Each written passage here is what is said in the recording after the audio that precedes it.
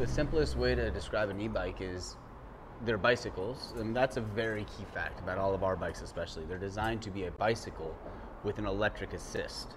So any one of our bikes can basically be ridden as a normal bicycle or with an electric motor assist, either through a throttle.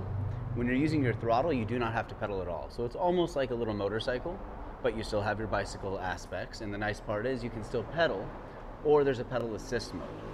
With a pedal assist mode, you do have to pedal, and then you just sort of get a set percentage of the battery or the motor's um, power. Our range is a pretty big range. They start at about 600 to go up to a little over 5,000. The really important thing with an e-bike, you know, I try and always stress this with people, and one of the main ways we function as a store is based on education. So even though you know somebody comes in and says, "What's the price point?" It doesn't matter what the price point is as long as you get the right product. Some people don't need a $5,000 bike, and some people can't use a $500 bike. You really need to weigh the pros and cons one of the things that everyone here really stresses, you know, is really focused on doing as they're selling a bike is talking to the customer and listening to their needs.